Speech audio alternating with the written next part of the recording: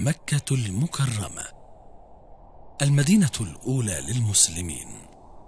اختارها الله من بين المدن والقرى لتكون أم القرى.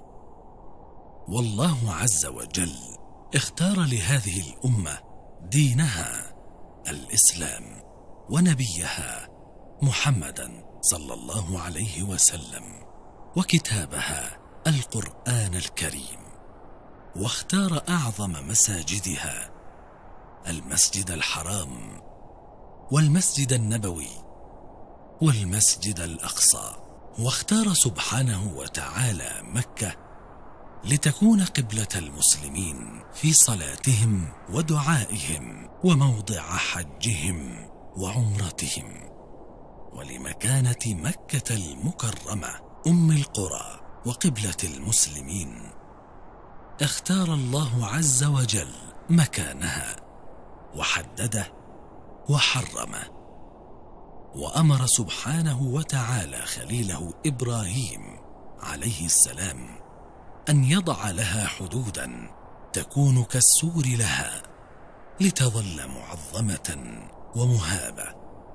فما كان داخل هذه الحدود فهو من الحرم.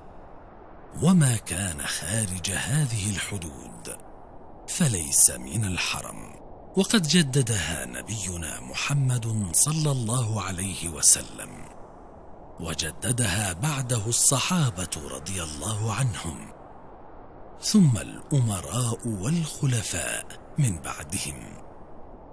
وفي زماننا هذا وضعت علامات تدل على حدود الحرم. جعلت في مداخل مكة ليتعرف على منطقة الحرم. كل من سكن مكة أو قدم إليها للحج والعمرة والصلاة فحد من جهة طريق الطائف السيل وحد من جهة طريق الطائف الهدى وحد من جهة طريق الليث وحد من جهة طريق جدة السريع وحد من جهة طريق جدة القديم وحد من جهة طريق المدينة المنورة بجوار مسجد التنعيم. لتحتضن هذه الحدود المسجد الحرام ومشعر منى والجمرات ومشعر مزدلفة ولتميزها عن منطقة الحل التي تقع فيها عرفة موضع ركن الحج الأعظم. وها هي مكة المكرمة محدودة بحدود الحرم. تضاعف فيها الحسنات والصلوات وتعظم فيها السيئات. وتبقى مكة المكرمة بلد الله الحرام.